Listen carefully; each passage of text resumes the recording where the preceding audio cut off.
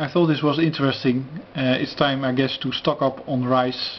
And uh, this uh, report, in the end, it is uh, contemplated that uh, what is being described will have a negative impact on uh, profits. But I guess that will be the least of the problems. This podcast is brought to you by Odiogo.com. Wheat prices to soar, UG99 fungus spreading all over the world. UG99 is a destructive fungus that threatens to wipe out 80% of the world's wheat crop.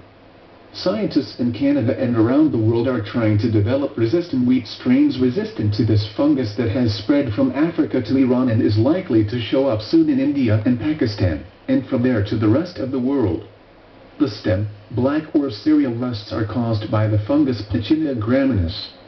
Destruction of wheat crops threatens to cause widespread famine. It may also cause a very large increase in the prices of staples such as bread and pasta. The UG99 fungus, also known as stem rust, is likely to spread worldwide, either through line-blown spores or carried by people. It's a time bomb, Jim Peterson, an expert on wheat genetics at Oregon State University in Corvallis, told the Los Angeles Times. It moves in the air. It can move in clothing on an airplane. We know it's going to be here.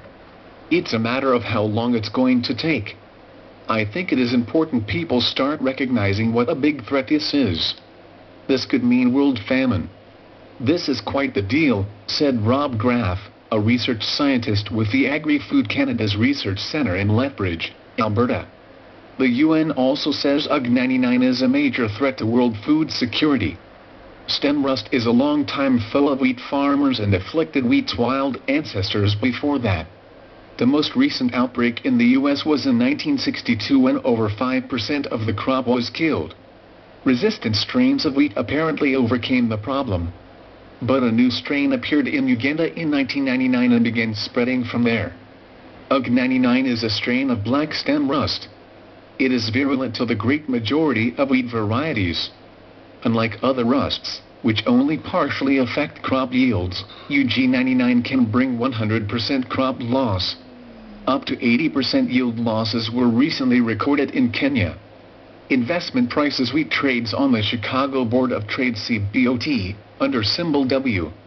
Current prices, where wheat is produced courtesy Wikinvest click to enlarge from an investment point of view, a couple of companies and ETFs that I follow that are directly related to wheat are, DBA this ETF track the price and yield performance of the Deutsche Bank Liquid Commodity Index, Optimum Yield Agriculture Excess Return. The index is a rules-based index composed of futures contracts on some of the most liquid and widely traded agricultural commodities, corn, wheat, soybeans and sugar.